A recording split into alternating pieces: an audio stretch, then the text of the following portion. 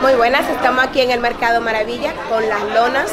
Quiero aquí yo hablar, mi nombre es Heisy Tejada, de lo que es el pequeño comercio, porque es lo que tenemos más cercano, es también las personas que nos tratan con esa personalidad, conocen muchísimo nuestros gustos y son como familia porque el comercio de barrio somos todos.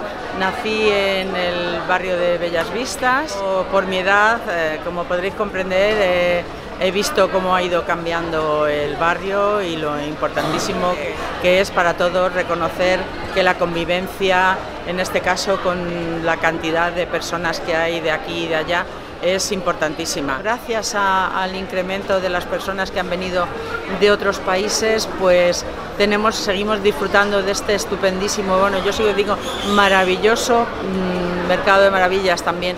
Entonces yo creo que esto lo hemos conseguido entre, entre todos y, y todas.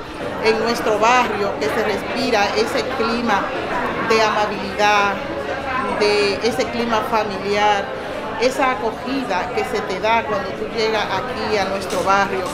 Las mujeres cuando migramos somos las que, la que llevamos como esa carga y somos las que vamos más interesadas como en integrarnos donde quiera que llegamos. Pero la sensación que me da siempre es que son mujeres muy fuertes, es una expresión llena de, de, potencia y de poder de alguien que realmente es capaz de afrontar el reto que supone dejar la vida que tenían en Dominicana y venir a España y afrontar una vida llena de incertidumbre, llena de dificultades.